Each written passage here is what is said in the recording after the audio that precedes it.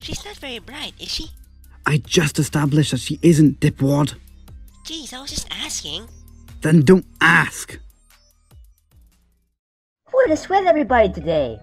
I don't know. They must be pretty frustrated.